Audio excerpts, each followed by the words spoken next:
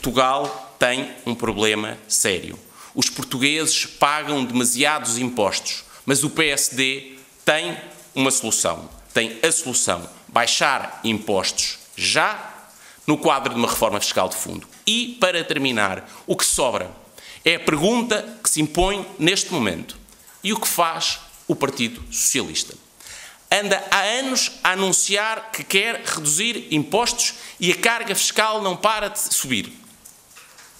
O Partido Socialista vai ou não aceitar, deixando-se de politiquices, aceitar esta repto, esta proposta do Partido Socialista de reduzir impostos 1.200 milhões de euros para todos os portugueses com enfoque na classe média, reduzir significativamente o IRS para os jovens, para os fixar. O Partido Socialista vai ou não aceitar reduzir os impostos sobre os portugueses? Iremos transformar estas cinco propostas em iniciativas legislativas, levá-las à discussão e votação no dia 20 de setembro.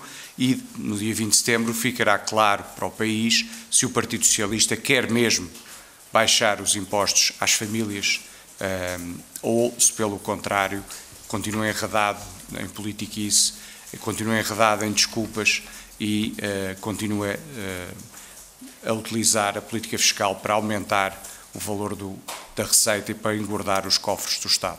E por isso, no dia 20 de setembro, teremos este debate com o PSD a consubstanciar estas propostas em iniciativas legislativas e veremos o que é que a maioria absoluta do Partido Socialista decide fazer nesse dia.